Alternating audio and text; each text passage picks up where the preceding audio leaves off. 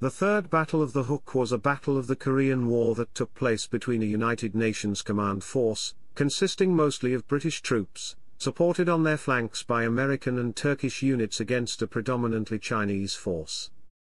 Chapter 1 Background By 1953, elements of the UN forces were engaged in fierce fighting to prevent the Chinese People's Volunteer Army forces from gaining ground, prior to a possible ceasefire.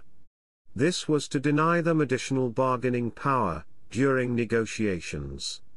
One such action took place at a feature called the Hook, a crescent-shaped ridge near the Samichon River, a tributary of the Imjin River near Kaesong. There had been two previous engagements at the Hook earlier in the Korean War during 1952 when first the United States Marine Corps in October, and later the Scottish Black Watch Regiment in November, had successfully held the Hook against PVA assaults. This ridge was a place of tactical importance in the 1st Commonwealth Division sector, it was a potential attack route which the PVA needed to take before assaulting Yongdong, and opening up an invasion route to Seoul, the South Korean capital.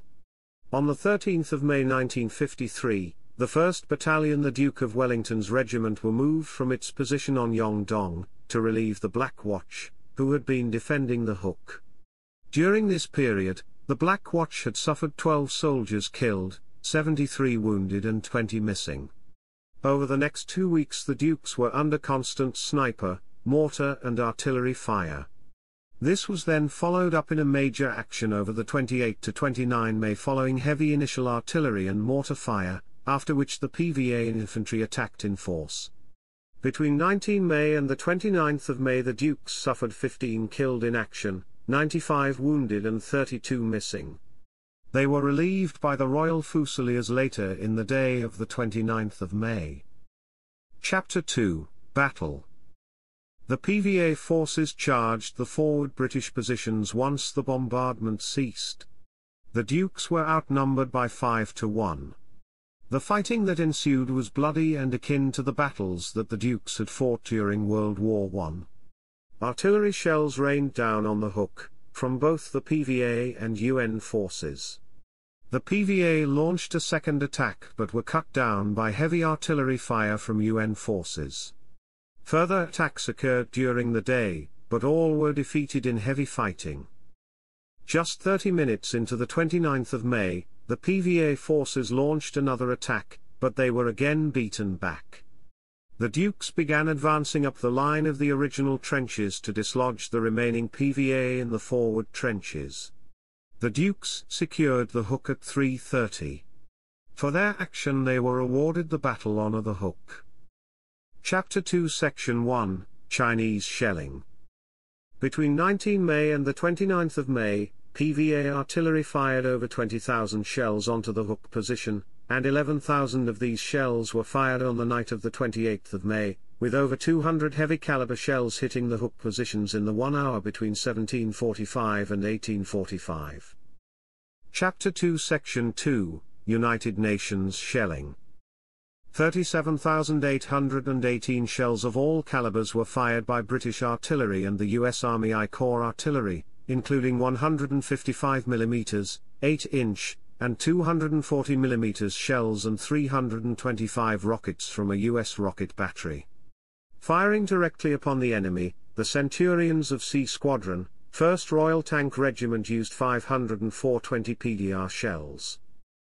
Chapter 3 Aftermath PVA casualties were 167 by body count, while their actual casualties were estimated at 1,050 killed and over 800 wounded. The Dukes suffered three officers and 17 other ranks killed, two officers and 84 other ranks wounded, with 20 men missing.